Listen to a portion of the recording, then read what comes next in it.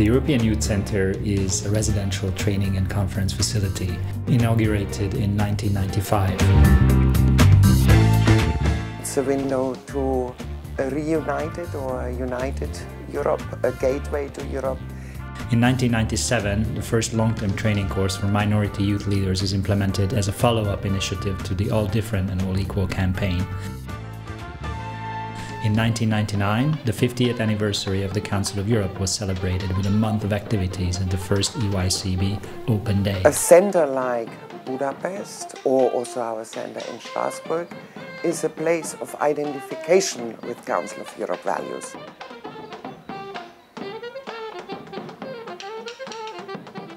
In 2000, the Mobilitas Youth Information Service was opened on the EYCB premises. In 2003, the EYCB participated for the first time in the annual Budapest Sziget Music Festival with the living library and the Council of Europe tent.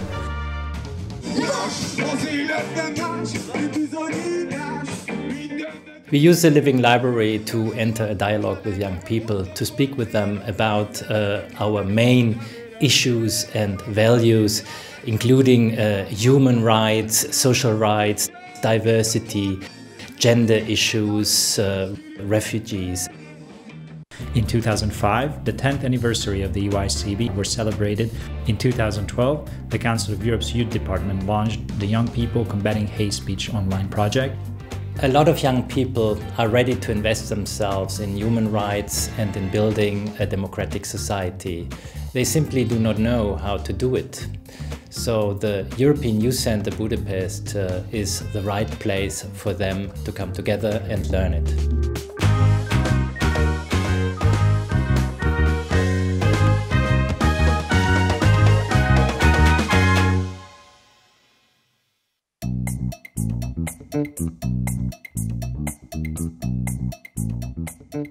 The young people who come here for training, they also stay here. We have 65 guest rooms, uh, a restaurant, uh, a, a, clubhouse, a, a, sauna, a gym. So the building can actually host uh, an activity uh, in its entirety. We host about 150 activities a, a year trainings, uh, seminars, study sessions, conferences.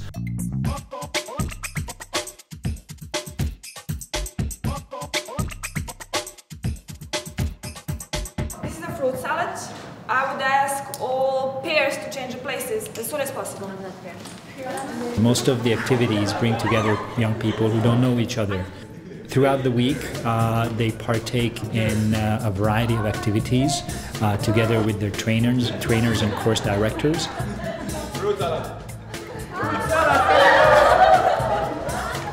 I've been to many trainings and you just sit and listen how professors talk about a topic but here you have a lot of team building activities and uh, it is more productive.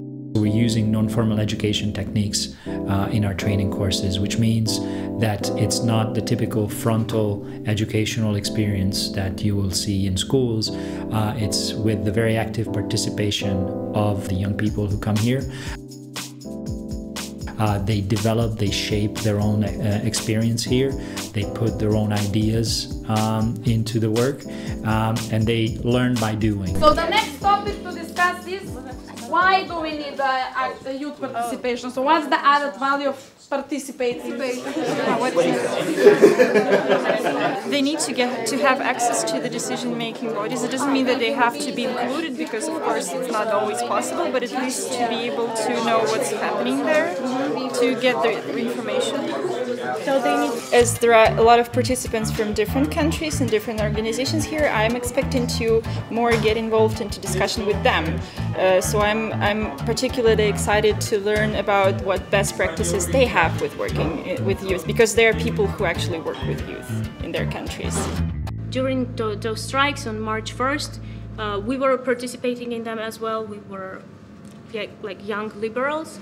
I was 16 back then and we started to go for strikes, demonstrations, etc., etc. We were taken to the police station numerous times.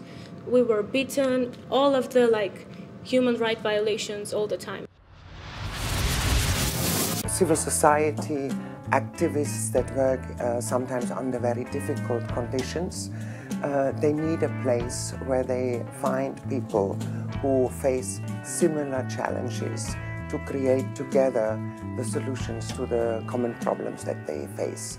The ideas, as I understand, are very liberal. You can see it in every corner. You can see it uh, on the paintings, on, on the drawings. Uh, you can see it by the way people are treating you. Very liberal, very democratic. Uh, I love it.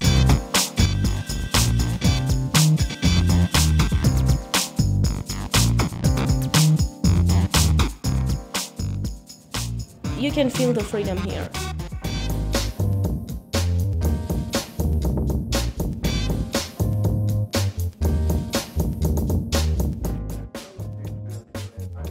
Our participants cover certainly the 47 member states of the Council of Europe, but over the 20 years of our existence, uh, we had here uh, people from uh, on over 120 countries.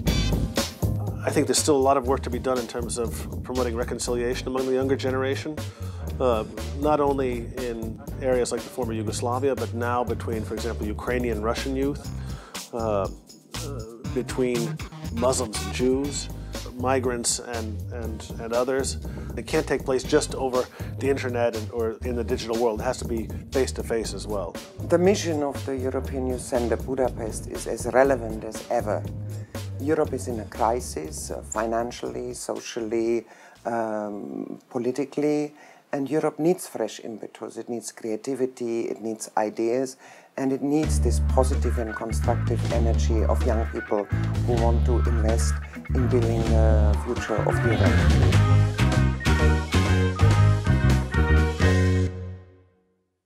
Happy birthday, European Youth Center Budapest!